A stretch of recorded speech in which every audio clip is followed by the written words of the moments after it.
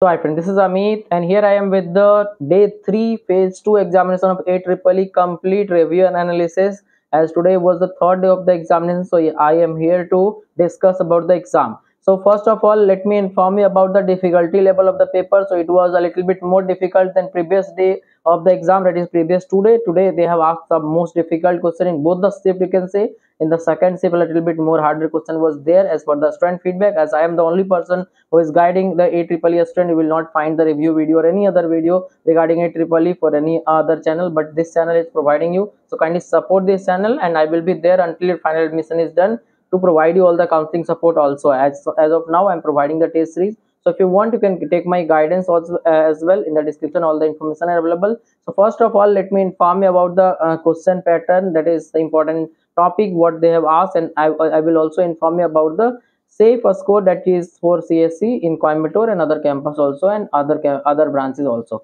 So first of all paper was difficult as I told you mathematics was lengthy as compared to the previous days as well and also it is expected that math used to be lengthy and difficult. So maximum question we are asked from set relation again matrix determinant or as well as from trigonometry complex number and also from the probability uh, and thereafter permutation and combination. So these are the chapter from where they have asked the maximum question so all these chapter i have included in my test series. If you want you can join that. Within one day even if you appear in one test or two tests of my test series that will give you lots of confidence for the examination and you will get at least 40 50 marks more than whatever you are expecting now. So kindly check the description. You will get the link now if you come to the physics physics was again tricky a lot of question we are asked uh, that is formula based question from modern physics as well as from uh, current electricity, electrostatistics, and thereafter from heat thermodynamics and motion in a plane. So these are the chapter from where they ask the maximum question in physics. Now if you come to the chemistry, then for chemistry the uh,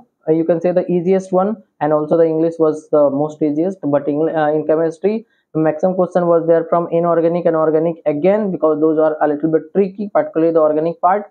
And inorganic coordination compound and s block d block hydrogen these chapter have maximum question today. So the important thing is that in physical also there was some question in uh, chemical kinetics equilibrium and uh, uh atomic structure. So these are the chapter from where they, they have asked the maximum questions so try to revise this chapter before going for the exam and uh, now i will discuss the uh, safe score safe score means minimum score for today's shift so if you are scoring around 160 to 180 marks then you are safe if you are from home state to get the CSE in Coimbatore if you are from other state, then 190 to 220 required to get the CSE in Coimbatore campus. Other campus you can get it 100, 150 like this also. So uh, the safe score means uh, uh, above average you can say if you are scoring around 150 to 190 for the other state student if you're home state then 130 to 170 marks is the safe range for this exam that is today's exam so hope you get my point clearly kindly subscribe the channel